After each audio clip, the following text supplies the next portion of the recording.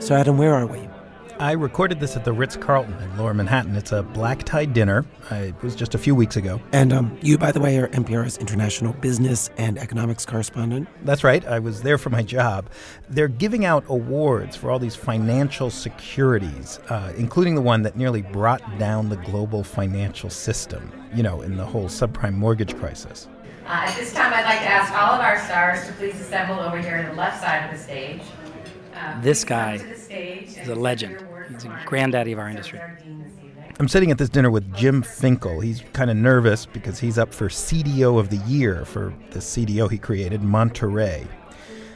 Now, the CDO, that's what we are talking about. That's the financial instrument that was central to this global credit crisis we're in. And wait, and, and they gave awards for this? These guys were giving each other awards for doing that? Well, let me let me just say they, they were aware that there's a certain irony giving awards to the instrument that almost destroyed the world economy, and they did consider canceling this year, but it's been a really tough year. It's been really gloomy for them. Honestly, I know this sounds.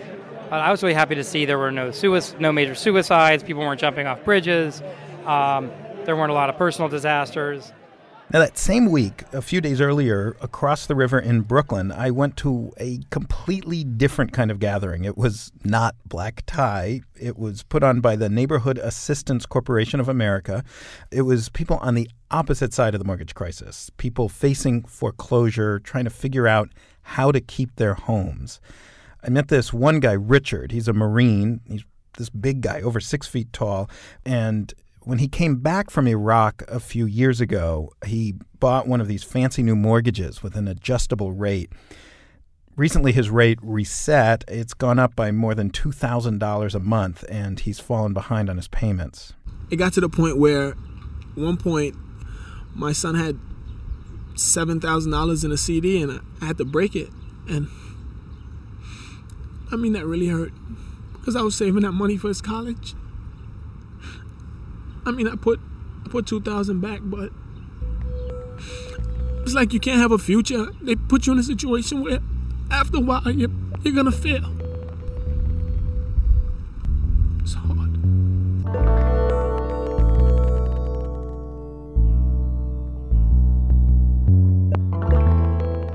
Now, it's clear that these two groups are connected. Jim at his black tie dinner and Richard the Marine the subprime crisis has connected them.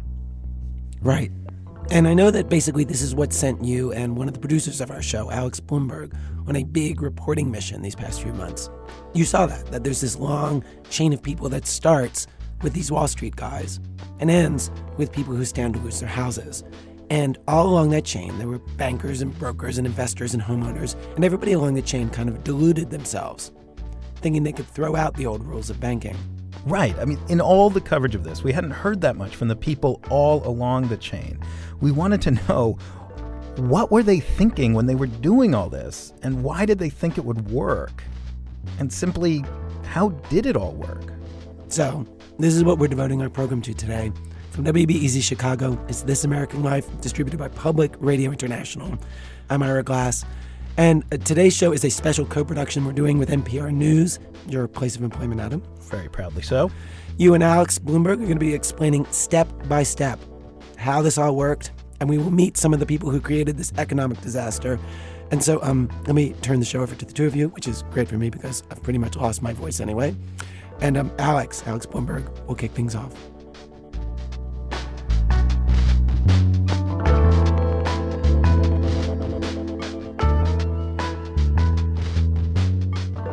The thing that got me interested in all this was something called a Nina loan. Back when the housing crisis was still a housing bubble, a guy on the phone told me that a Nina loan stands for no income, no asset. As in, someone will lend you a bunch of money without first checking to see if you have any income or any assets. And it was an official loan product. Like you could walk into a mortgage broker's office and they would say, Well, we can give you a 30 year fixed rate, or we could put you in a Nina. He said there were lots of loans like this, where the bank didn't actually check your income, which I found confusing. And it turns out even the people who got them found them confusing. For example, a guy I met named Clarence Nathan. He worked three part time, not very steady jobs, and made a total of $45,000 a year, roughly. He got himself into trouble and needed money, so he took out a loan against his house, a big one. Call it 540 for round figures. You basically borrowed $540,000 from the bank and they didn't check your income. Right. It's a no income verification loan. They don't call me up and say, you know, how much money. They don't do that. I mean, it's it's almost like you pass a guy in the street and you say, "You lend me five hundred forty thousand dollars." He said, "Well, what do you do?" I got a job. Okay. I mean, it, it, it's, it seems as if it's that casual, even though there are a lot of papers that get filled out and stuff flies all over with the faxes and the emails and all like that. Essentially, um, that's the process.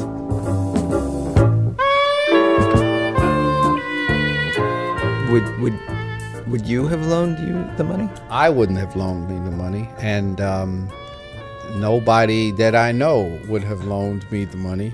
I mean, I know guys who are criminals that wouldn't lend me that money, and they break your kneecap. So, you know, yeah. I mean, I don't know why the bank did it. I'm, I'm serious. I mean, five hundred and forty thousand dollars, a person with bad credit.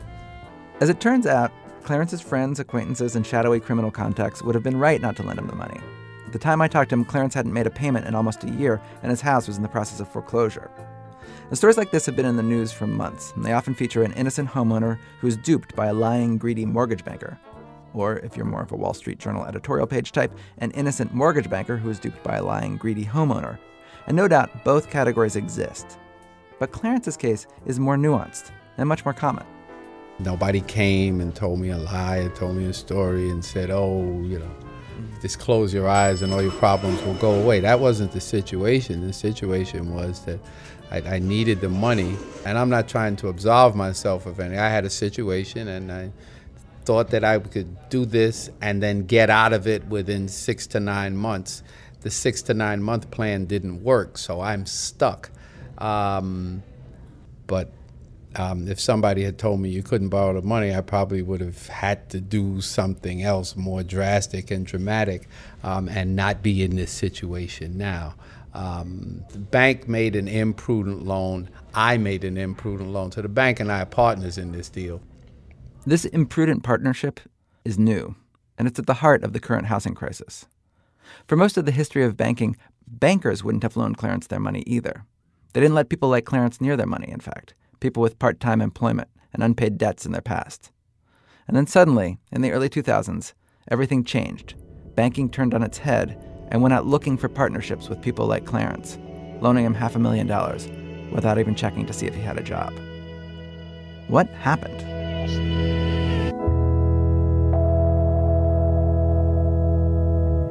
Well, to help explain what happened, here's my partner for the hour, Adam Davidson, the international business reporter for NPR. Hey, Adam. Hey, Alex. How's it going? Good. You? Good. I got your title right, right? Yes. Okay. Uh, well, not exactly. Oh, what, what is it?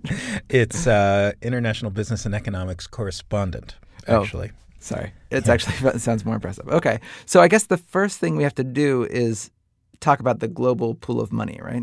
Right. The global pool of money, that that's where our story begins. Most people don't think about it, but there's this huge pool of money out there, which is basically all the money the world is saving now.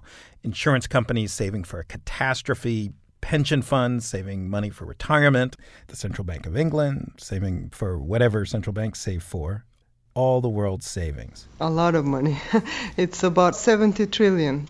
That's the head of capital market research at the International Monetary Fund, the place to go if you want to figure out how much money is in the world. All right. So, uh, first up, how, how do we pronounce your name? That'll probably take, if, if it, this goes on air, probably that will take two, two minutes at least.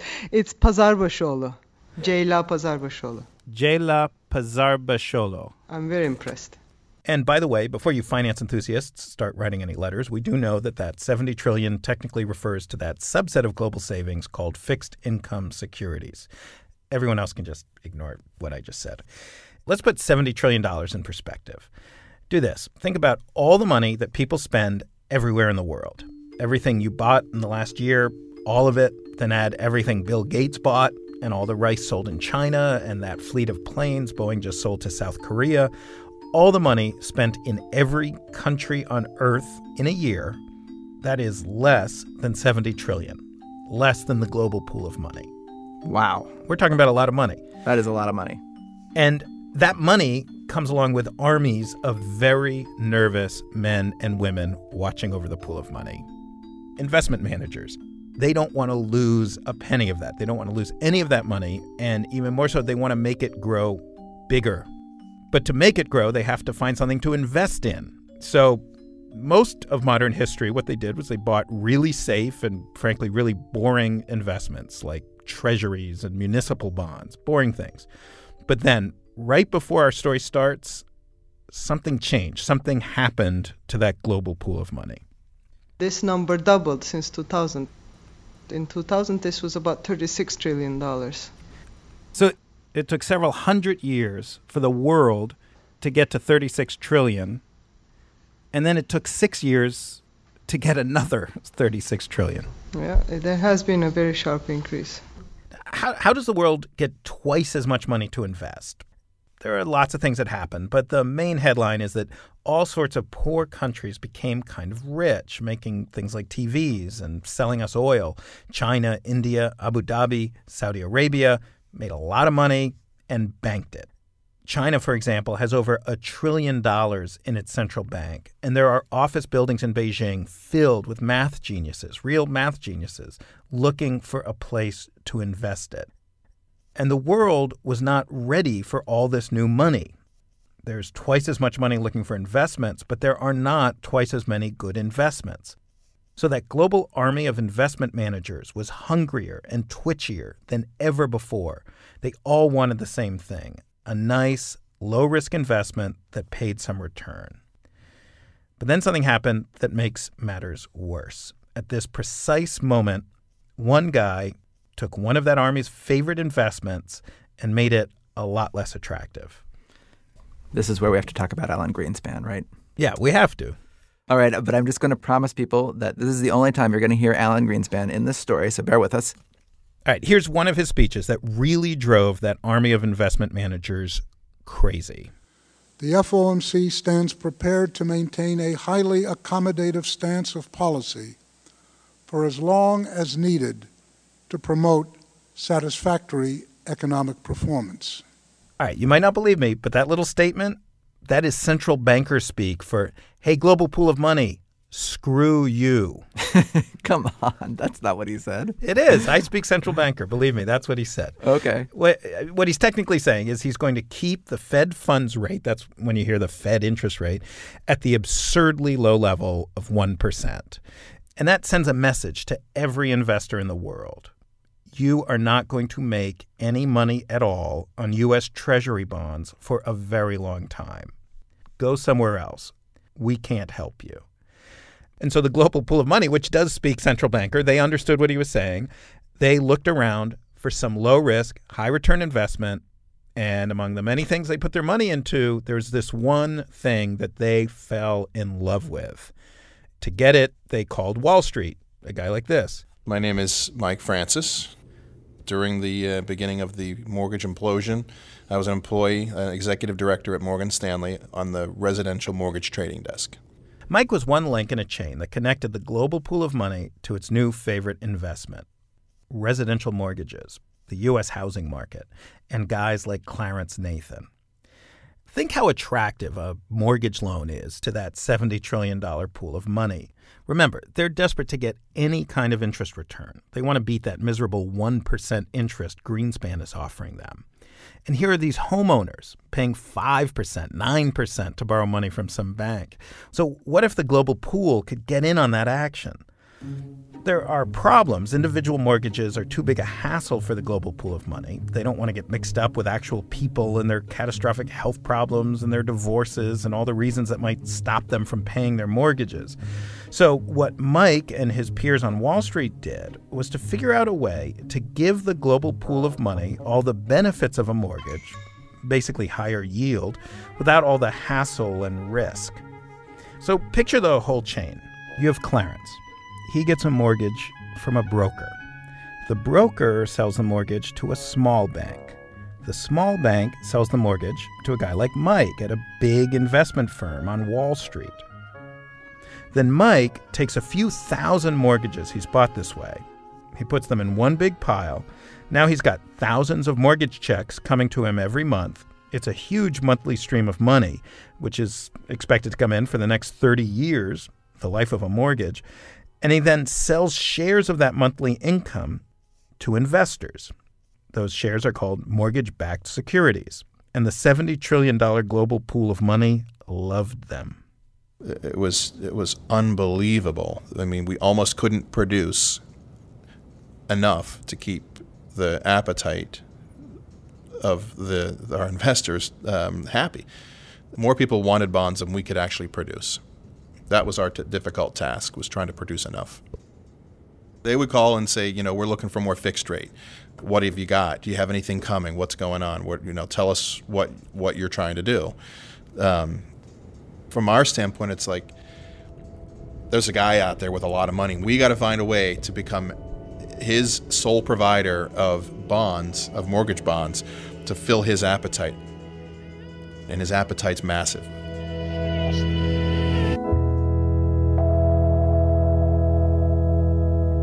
The problem was to make a mortgage backed security, you needed mortgages, lots of them. So, for Mike Francis to satisfy this demand and take his quite hefty fee from the global pool of money, he needed to buy up as many mortgages as possible. And to do that, he called a guy one link below him on this mortgage backed security chain, a guy named Mike Garner, who worked at the largest private mortgage bank in Nevada called Silver State Mortgage. And to give you a sense of how fast this business was growing, Mike Garner got into the mortgage business straight from his previous job as a bartender. One of my regulars, he actually hired me from the bar. He just said he uh, he needed some, some guys, and if I was interested in, in working for him, and then we started talking about how much I made and that, and he he beat me, he beat what I was making, so I didn't know anything about the the mortgage business. I was as green as you could be. Mike Garner's job, the guy in Nevada, was to buy up individual mortgages, mainly from brokers, bundle two or three hundred of them together, and then sell them up the chain to Wall Street to guys like Mike Francis. There's just too many Mikes here. I know, so many Mikes. Um, uh, there's actually just two two Mikes. There's Mike Francis, the guy on Wall Street, and Mike Garner, the guy we're talking about now. He's in Nevada. He's in Nevada, right. And in the beginning, he'd only buy mortgages that were pretty standard and pretty safe mortgages where people had come up with a down payment and proven that they had a steady income and money in the bank. And they sold so many of these mortgages that there came a point in 2003 where just about everybody who wanted a mortgage and was qualified to get one had gotten one. But the pool of money had just gotten started. They wanted more mortgage backed securities. So Wall Street had to find more people to take out mortgages, which meant lending to people who never would have qualified before. And so Mike Garner in Nevada noticed that every month the guidelines were getting a little looser. Something called a stated income verified asset loan came out, which meant that people didn't have to provide a paycheck stub or W 2 form to get a loan, as they had in the past. They could simply state their income as long as they showed that they had money in the bank. The the next guideline lower is uh, is just stated income, stated assets. That came out. So then you basically state what you make and then you state what's in your bank account. They call and make sure that you work where you say you work.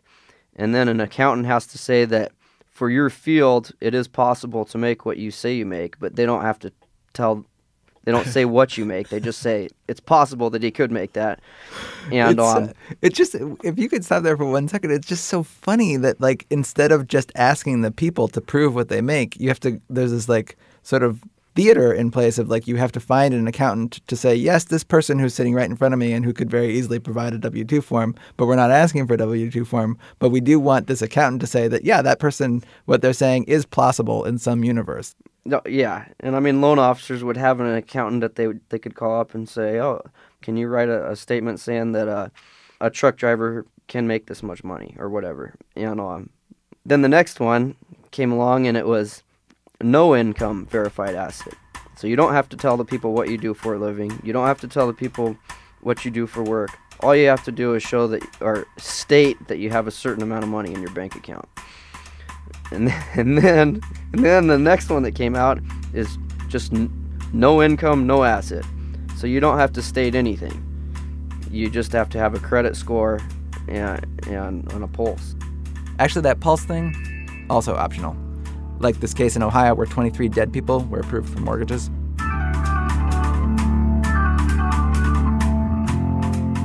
An interesting fact here Mike Garner's bank did not care all that much how risky these mortgages were.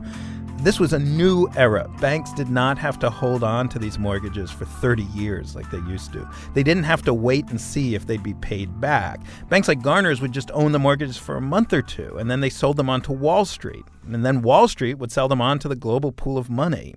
Which is how we get half million dollar no income, no asset loans. And loans to dead people. So there's this whole other thing going on as well. Housing prices were rising fast. I think we all remember that. Lots of people in the mortgage industry had this faith that housing prices in the U.S. simply never go down. So, from the bank's perspective, even if the worst happens and someone defaults, the bank would then own a house, which is now worth even more than what they gave out in the loan. So all Mike cared about was whether or not his customers, the Wall Street investment banks, would buy those mortgages from him. And he was under pressure to approve more and more loans because other guys in his company, the actual guys cruising strip malls all across Nevada buying mortgages from brokers, their commission depended on selling more loans. And occasionally, those guys would hear about some loan that some other mortgage company offered that they weren't allowed to offer, and they'd complain to Mike three of them would show up at your door first thing in the morning and say, "I I lost ten deals last week to Meridias Bank, and they've got this loan. Look at the guidelines for this loan. Is there any way we can do this? Because we're just we're losing deals left and right. You know, I'm, you know, either they would find out who they're selling it to, or I'd get on the phone and start calling all these street firms or, or countrywide and and say, "Would you buy this loan?" And finally, you'd find out who was actually buying them, and it would say yes. So like Merrill Lynch would say no, and Goldman Sachs would say no, and then you'd finally hit on somebody, and they would be like, "Yeah, we'll buy that loan." Yeah, and then once I got a hit, then I call the other people's back and say, "Listen, Bear Stearns is buying this loan, and I would like to give you the opportunity to to, to buy these loans too." And once one person buys them, usually they all the rest follow suit.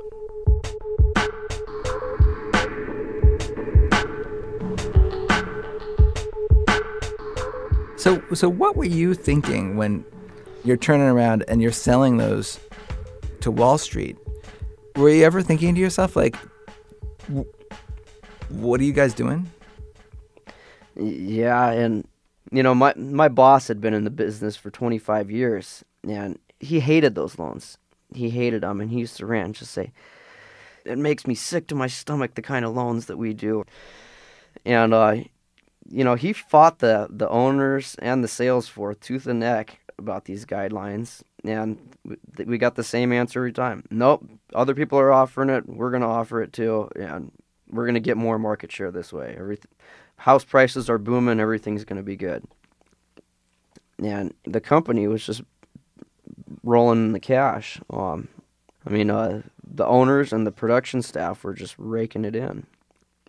At the height, I was making between 75 and 100 grand a month. This is Glenn Pizzolorusso, who was an area sales manager at an outfit called WMC Mortgage in upstate New York.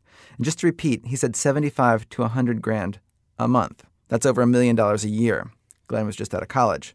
His job was a lot like Mike Garner's. He's the same link in the chain. And Glenn loved his job. What was that movie, Boiler Room? Did you ever see that movie? Yeah. That's what it was like. I mean, it was just, it was the coolest thing ever. Just cubicle, cubicle, cubicle for, you know, 150,000 square feet. The ceilings were probably 25, 30 feet ceilings. The elevator had a uh, had this big graffiti painting on it that was awesome. A graffiti painting meaning like that had been there since yeah, you guys so, moved in. Yeah, yeah, yeah. So they had not done any amenities to this place. There no, wasn't like a no, no. Uh, no. So it was just a big open space, right? And it was awesome. we like, lived mortgage. That's what we did. That's all we did. You know what I mean? We lived, all of us, we just lived it. You know? This deal, that deal. What's going on here? How are we going to get this one funded? What's the problem with this one? I mean, you get there and that's all everybody's talking about. And when Glenn wasn't working, he was doing his next favorite thing spending. Preferably in the company of, and this is his term, B list celebrities. We would roll up to Marquee at midnight with a you know line 500 people deep out front walk right up to the door give me my table we're sitting uh, next to tara reid and uh, a couple of her friends we're sitting uh, you know it, christina aguilera was doing a you know whatever like if i'm christina aguilera i'm gonna get up and sing so christina aguilera and all her people are there who else was there cuba gooding and that kid uh, from Filthy Rich Cattle Drive. What was that kid's name? Fabian Basabe. I don't know. Um, you know, we order probably three or four bottles of Cristal at a thousand dollars a bottle. They bring it out with, you know, they're walking through the crowd. They hold the bottles over their head. They put there's firecrackers in them, the sparklers, you know, the little cocktail waitresses. So you order four bottles of those. They're walking through the crowd, you know, of people. Everybody's like, "Whoa, who's the cool guys?" Well, we were the cool guys. You know what I mean?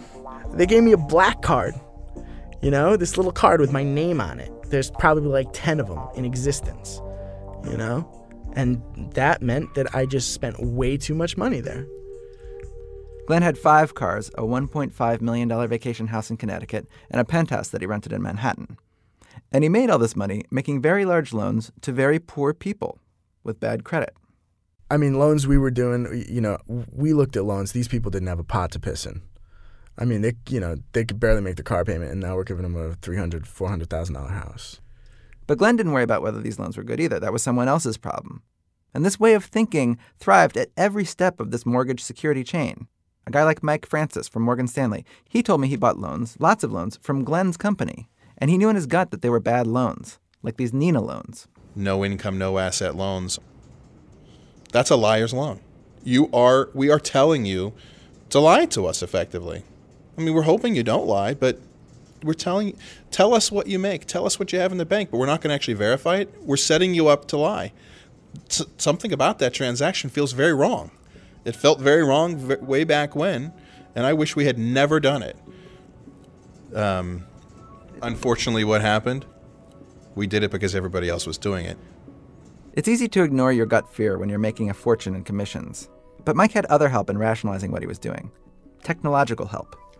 Mike sat at a desk with six computer screens connected to millions of dollars worth of fancy analytic software designed by brilliant Ivy League graduates hired by his firm.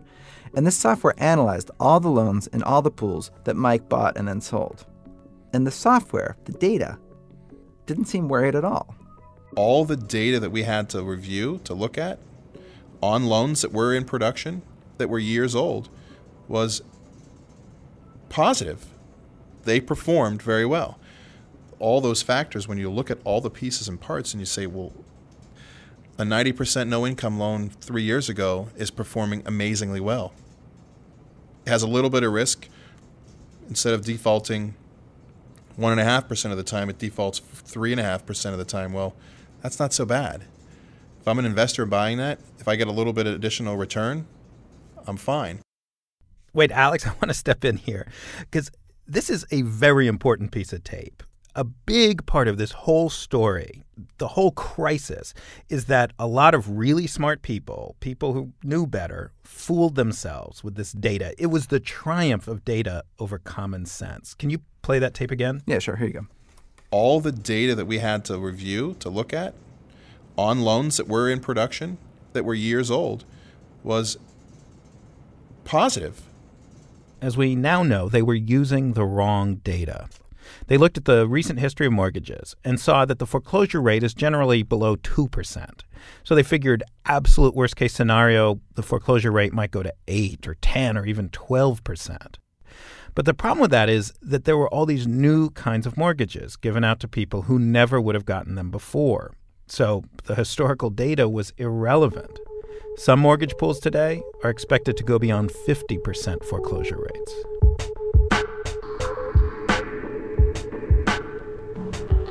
To be fair, they knew there were risks, but investors have a system to assess those risks. They're the special companies, credit rating agencies, Moody's, Standard & Poor's, Fitch. Their job, their main job, is to assess risk for Wall Street and the global pool of money. They rate every kind of bond according to its risk. AAA is the safest, then there's AA, single A, all the way down to single B and below. And that's all most investors look at, that letter grade. They trust the credit rating agencies. And these agencies blessed most of these mortgage backed securities, gave them AAA ratings, which means they were considered as safe as a U.S. government bond. This was the magic of the whole system. You could take a pool of thousands of risky mortgages and create a security that was called money good, as safe as any investment out there. At least that's what people thought. We now know that those agencies relied on the wrong data, that same historic data that had nothing to do with these new kinds of mortgages. And then things got even worse. The thing that took this problem and turned it into a crisis was something else that was new, something called a collateralized debt obligation, a CDO. And that brings us back to the guy we met at the awards dinner in the beginning, Jim Finkel. Well, we're heading to the uh, trading floor of Dynamic Credit, where we have all of our mortgage and CDO analysts, our head trader, our CIO. Um, Jim Finkel runs this CDO shop, Dynamic Credit. It takes up three modified apartments on the Upper East Side of Manhattan. The trading room is like a factory floor for CDOs, it's where they make the things. This is what it sounds like. Maybe factory is the wrong term, but this is where he makes CDOs. But what is a CDO? He shows us on a computer screen. I'm going to show you. Here's our deal, Monterey. To start with, every CDO has its own name. Finkel loves his country house in the Berkshires, Um, so he always names CDOs after towns in western Mass, like Monterey. Monterey CDO Limited. We had 189 assets in, in Monterey. So okay. it's 189 pools of 189 tranches of different mortgage backed pools. Okay. All right, let's translate some of that. A mortgage backed security, you remember, is a pool of thousands of different mortgages. These are all put together and divided into different slices. Jim used the word tranche. Tranche is just French for slice. Some of these slices are risky and some are not. Okay, a CDO is a pool of these tranches, a pool of pools. And Jim and most companies like his weren't buying the top rated tranches, the safest ones, the AAAs. They were buying the lower rated stuff, the high risk stuff. Jim's company bought tranches that came from Glenn Pizzolorusso's company, the guy who hung out at nightclubs with B list celebrities, the guy who said he was selling mortgages to people who didn't have a pot to piss in. There's another term the industry uses. This is not a joke. They call these lower rated tranches toxic waste. They're so high risk, they're toxic. So basically, Adam, a CDO is, is sort of a financial alchemy, right? Right. Like, Jim takes this toxic stuff, these low rated, high risk tranches, puts them all together, retranches them, and presto, he has a CDO whose top tranche is a rated triple A, rock solid, good as money. If this seems too good to be true to you, you're in good company. Guys like billionaire investor Warren Buffett said the very logic was ridiculous. But back in 2005, 2006, the global pool of money, they couldn't get enough of these things. And the CDO industry was facing the same pressure as everyone else was at every other step of this chain to loosen their standards, to make CDOs out of lower and lower rated tranches. This is Jim's partner, Tonko Gast. In, in actually in 2005 already, we had an internal debate here because there were two banks coming to us saying, uh, "Why don't you do a deal with us, uh, Triple B Securities, and uh, you get paid a million bucks in management fees per year?"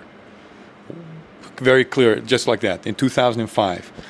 Um, and we declined those deals. We said we just don't believe that those Triple B ass- assets are money good.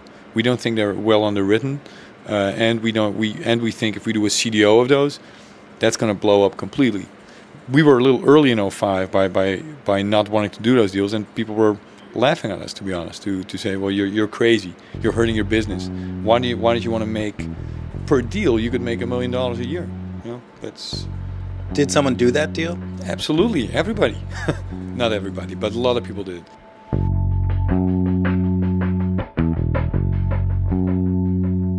Coming up, how $5 million can get you into $100 million worth of trouble in a minute. From Chicago Public Radio and Public Radio International, when our program continues. Was This American Life? I'm Ira Glass. And although I feel fine, I have lost my voice this week. Today's show, a special co production with NPR News, a step by step look at what exactly happened during the subprime mortgage crisis. One of our producers, Alex Blumberg, co reported this story with NPR reporter Adam Davidson. The story continues. From 2003 to 2006, the housing market was in a classic speculative bubble. Home loans were easy to get, so more and more people were buying houses. The increased demand for houses caused prices to increase, and the rising prices created even more demand as people started to look at homes as investments, investments that never went down in value. And in 2003, 2004, 2005, they didn't. You could buy a house with no money down, turn around and sell it a year later, for in some areas, double what you paid. People who'd never invested in real estate before started buying multiple properties as investments. There were even shows on TV about how to do it. Here's a promo. Get ready for an all new season of Flip This House. This is A&E's Flip This House. Discovery had the cleverly titled Flip That House. There were other ones, Property Ladder, designed to sell. Bravo came late to the game, debuting their show Flipping Out in November of 2007, well after the bubble had already popped. Those white boys from New Haven gonna flip that kitchen. Whoa, flipping up, flip the house. Flip This House premieres Saturday, March 31st at 9 on A&E. The problem was that even though housing prices were going through the roof, people weren't making any more money. From 2000 to 2007, the median household income stayed flat. And so the more prices rose, the more tenuous the whole thing became. No matter how lax lending standards got, no matter how many exotic mortgage products were created to shoehorn people into homes they couldn't possibly afford, no matter what the mortgage machine tried, the people just couldn't swing it. By late 2006, the average home cost nearly four times what the average family made.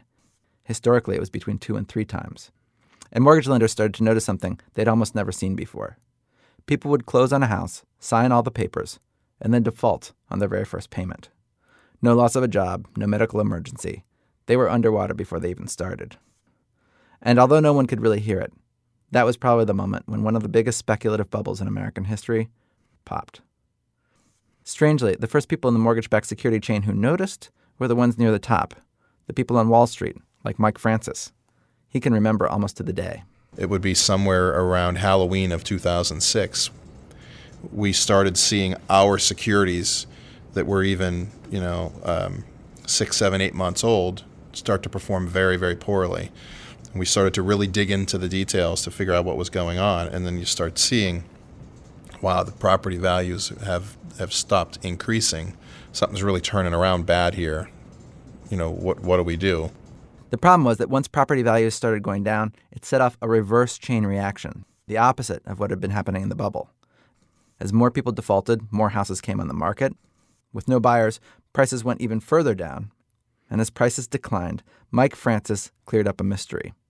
Remember, even though he didn't trust these NINA loans, the bonds he turned them into, they performed well. Well, there was a reason. It's obvious that they performed well now because their property kept increasing in value. And over time, they could continue to take cash out if, it, if they needed to to pay the bill. In other words, they could take out another loan from the bank against the value of their house, which because of the bubble was now worth more than they bought it for. These loans, called home equity lines of credit, became very popular in the early to mid 2000s, partly because they were easy to get, but partly because people needed them to continue making their original mortgage payments. To pay off their debts, they went into more debt. And in late 2006, early 2007, as prices began their plunge and alarm was spreading across mortgage backed securities desks all over Wall Street, the people on Wall Street, like Mike Francis, started backing away from some of the riskiest mortgages that they would accept, which had a devastating effect on the mortgage companies which had proliferated to sell them loans, a devastating effect on people like Mike Garner, the mortgage banker in Nevada, for one simple reason. All these mid sized companies like us, we're not using our own money to fund these loans. The way it worked was that a small bank, like Silver State Mortgage, where Mike Garner worked, would borrow money from a big bank, say Citibank or Washington Mutual. Silver State would use this borrowed money to buy up a bunch of loans and then pay back the big bank once it sold the loans to Wall Street. Now, these smaller banks were highly leveraged, in most cases 20 to 1, meaning in Silver State's case, even though it had, say, only 5 million of its own dollars, it could borrow 20 times that, 100 million, to buy loans with. So in late 2006, Mike is busily at it, borrowing, buying, selling, paying back, and borrowing again when the emails started coming. We get an email from a street firm, like, I don't know, just say Credit Suisse First Boston, and says, uh, as of, as of uh, whatever date, de- December 29th, we are no longer buying loans with this, a stated income loan with a FICO less than whatever. And and, would, the email would say, uh, and there will be no exceptions. Please do not call the pricing desk to make any exceptions for this or whatever. So you, you start flipping out and say, wait a second, you can't just say that you're not going to buy this w- with no notice. Well, we're saying it, and there is no notice. So then you start to scramble and get the stuff out the door as soon as you can. Because, you've you- already you've already been assembling a bunch of those loans with those Mhm. con- characteristics in place somewhere, right? Yeah, you've you've got 20 million or whatever the number is sitting there and you say, "Oh crap, well I better get those out the door because within a week of when one street firm says we're not going to buy these loans, you can pretty much expect to see the same email from all of them. A lot of times you'll get it from two others the same day. So you're scrambling to to sell them and you know, you're just going off sheer relationships you have with these guys like, "Okay, I've still got 10 million of, these. I know you're not buying them anymore, but you've got to come on. You, you can't just leave me like this. But, you know, there comes a point where there well there came a point where basically all of them just said we're not buying anything. For Mike and his company, that meant that they'd borrowed tens of millions of dollars to buy loans that now they couldn't sell. And since they had very little of their own money, just like the home buyers whose mortgages they'd purchased, they had no choice but to default on their loan. Silver State Mortgage's nearly 600 employees were out of work quite suddenly. The, it was February 14th. The email went out and said Silver State Mortgage might be going out of business, but we it was something along this line might be going out of business, but we think we can work something out. So we would encourage you to please come in and work tomorrow, and and give us one more day to see if we can work something out. And the next day, people came in and the email went out and said, uh, unfortunately, we were not able to work anything out, so Silver State Mortgage will be closing our doors today. And that's how most of these lenders go under. Everybody's everybody was working, thinking everything's great, chugging along, and all of a sudden the the bank says you're done. Then people started grabbing their computers and their copy machines and rolling them out the building. It was a mess, and uh, after, my thoughts were like, "Holy crap! What is it? Everybody's just stealing all their stuff." That happened on February 14th? Yep. My boss calls it the Valentine's Day Massacre.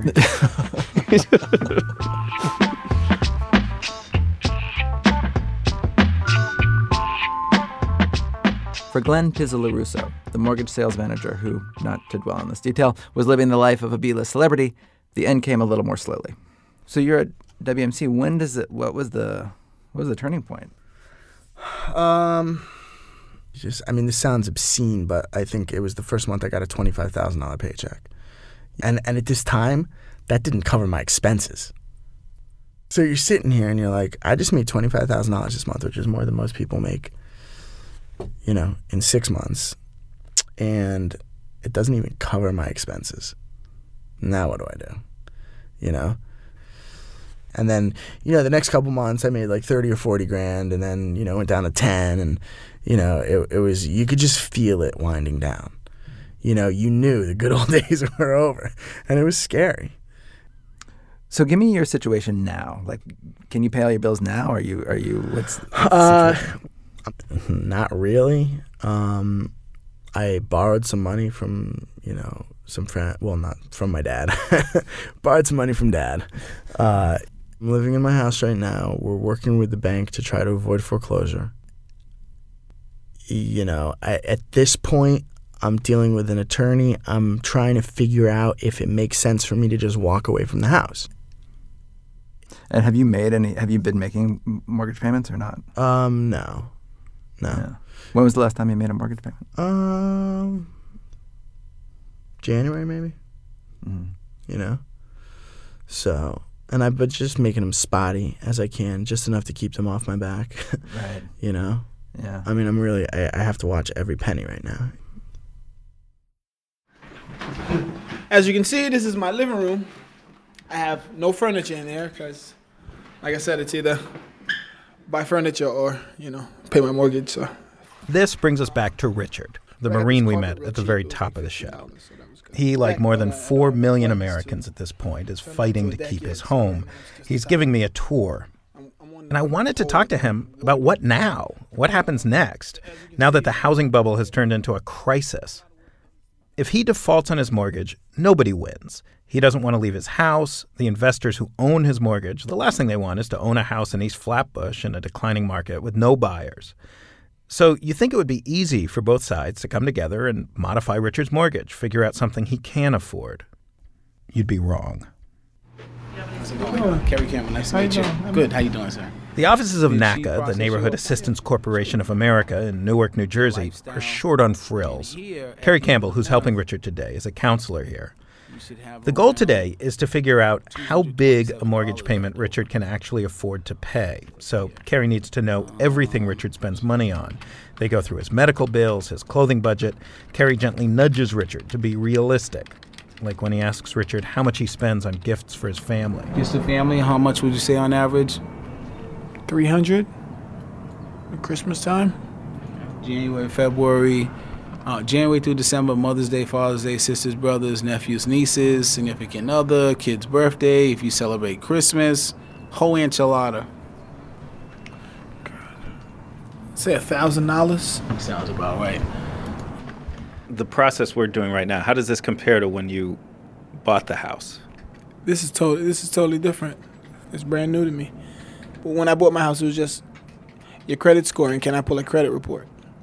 So, in this whole process, what's the first time someone looked at your finances? Today. Today.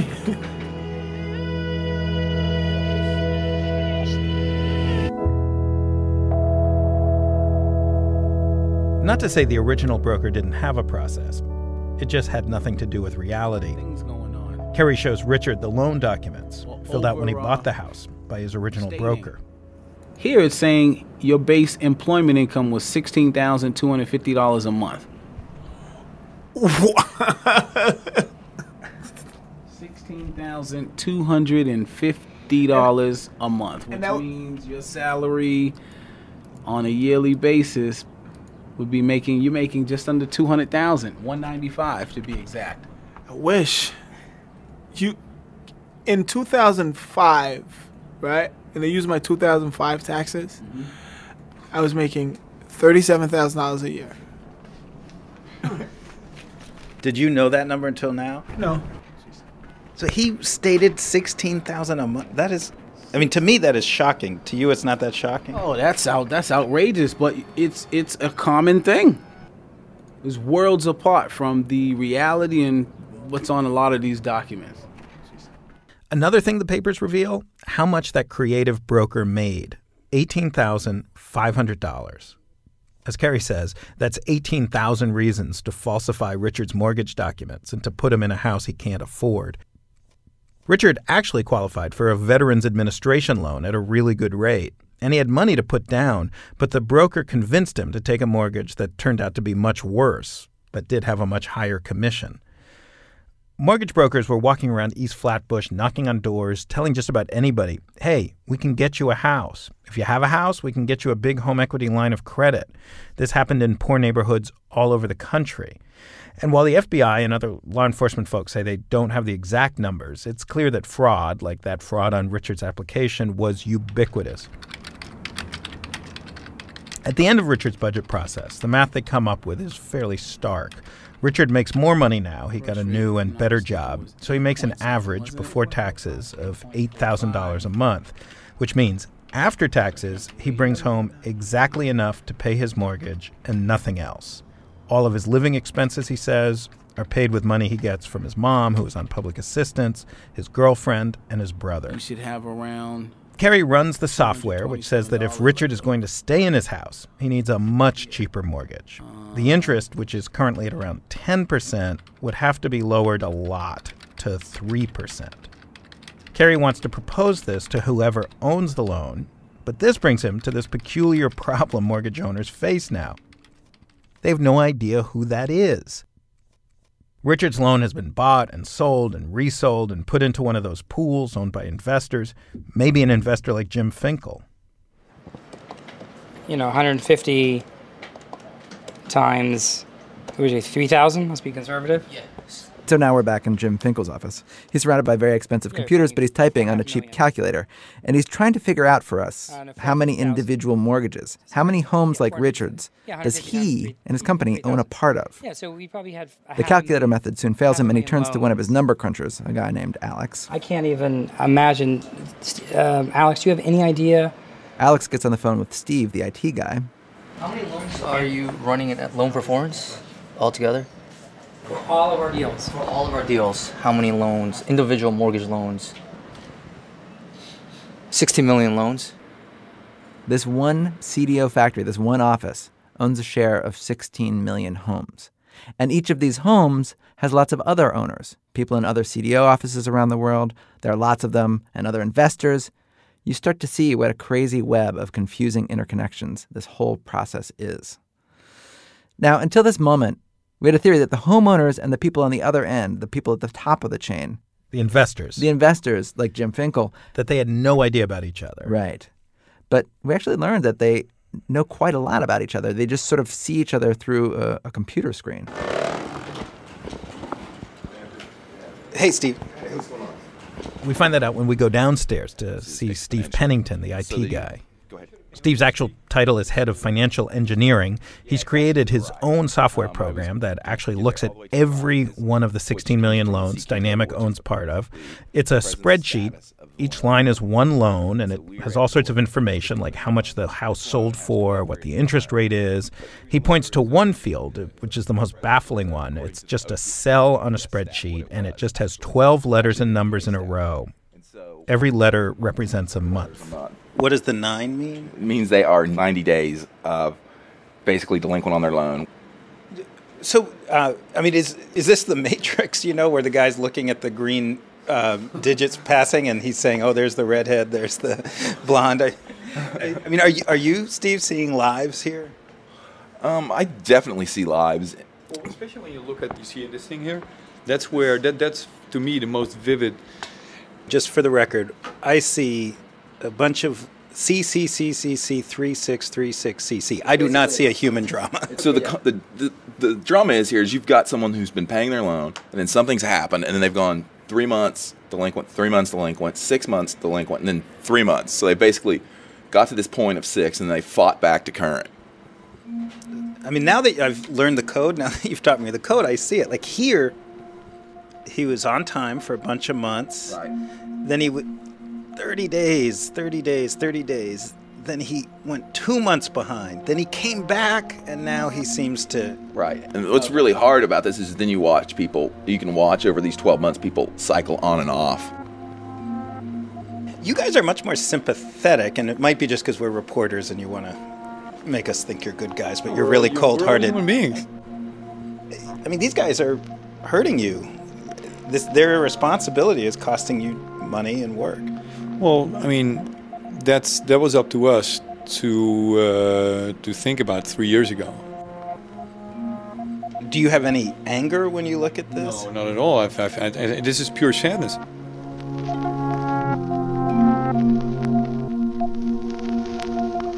This is where the partnership of borrowers like Clarence Nathan and investors like Jim Finkel has ended up. Tonko Gast estimates that most of the AAA rated mortgage backed CDOs that the industry created since 2006 are now worth less than half their value. Some are worth close to zero. But remember, to all the investment managers in the global pool of money who bought them, AAA meant safe as government bonds. AAA was called a cash equivalent, money in the bank. It's as if the global pool of money put trillions of dollars in a savings account, came back one year later, and found out that half the money was gone. Or put another way, it's as if the global pool of money thought it was putting trillions of dollars in a savings account, but really, half of it was going into a furnace. The money is gone, burned up, never to come back. And that has led to a new term you've been hearing. Yeah, maybe you've noticed that the press and others don't call it a subprime housing crisis as much. They're now calling it a credit crisis. The global pool of money still has no idea how much money they lost, how much went into the furnace. And because of that, they've totally changed their thinking. They used to be obsessed just with getting some kind of profit, any higher interest rate return. Now, the global pool of money has the exact opposite obsession. It wants no risk whatsoever. It just wants safety. Suddenly, those U.S. government treasury bonds, still near historic lows of 1% and 2%, are beautifully attractive because they're safe. They will never blow up like subprime CDOs did. The global pool of money is avoiding anything with even the slightest hint of risk, and that affects everybody, no matter who you are. It's harder to borrow money to buy a house or build a factory or bring your country boldly into the 21st century. Take Iceland. A year ago, it was easy for them to borrow billions. Now they're seen as too risky. Their central bank has to pay more than 15% interest to get anyone to loan them money. They could do better putting their national debt on a credit card. Hungary, Kazakhstan, Turkey, they're all in similar situations. You might have heard about problems in student lending. Companies that needed credit to survive are shutting down. The U.S. expects more than 1.1 million bankruptcies this year, twice the 2006 number.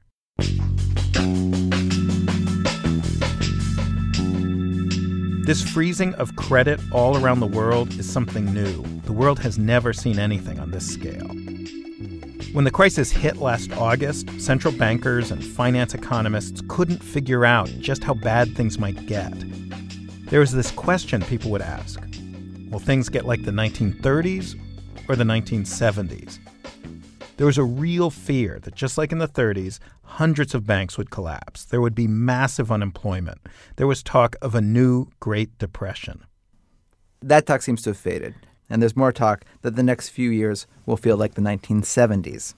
There are lots of technical differences between this crisis and Jimmy Carter's malaise, but for the average person, it could feel the same.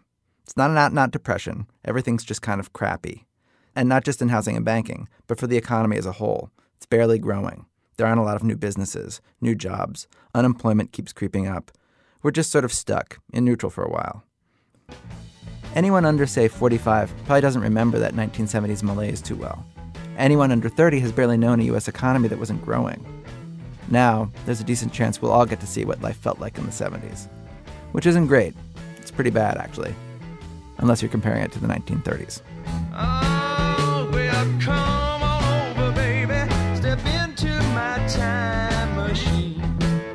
Alex Blumberg and Adam Davidson. Alex, my voice is um so bad. I think maybe you should read the credits. Why don't you do it? All right, all right. I'll, I'll, I'll help you feel better. Um, I'm going to bring Adam in here to help me too, since I've never done this before. Thanks today to Ellen Weiss at NPR, who made this collaboration happen this week between the news division at NPR, where I work, All Things Considered, and This American Life, where I work. Thanks also to Marianne Cassavant, Anna Chai, Kevin Byers, the fantastic housing blog Calculated Risk, Alexis Grinnell, Stephanie Cohen Glass, Sanjeev Honda, Charlie Ledley, James Scurlock, Chris Turpin, Elaine Glick, Mark Adelson, Dan Nigro. This American Life is distributed by Public Radio International. Support for This American Life is provided by Saab, founded by 16 Swedish aircraft engineers who sought to bring the spirit of flight down to earth. Saab, born from jets. Learn more at SaabUSA.com. WBEZ Management Oversight. Oh, I want to do this one. Okay, here you go. WBEZ Management Oversight for our program by Ira's boss, Mr. Torey Malatia. He and Ira go out at night sometimes together. It's pretty chill. Torey describes it like this. You know, we order probably three or four bottles of Cristal at a thousand dollars a bottle. Everybody's like, "Whoa, who's the cool guys?" I'm not Ira Glass. I'm not either. But we will be back next week with more stories of this American life. PRI, Public Radio International.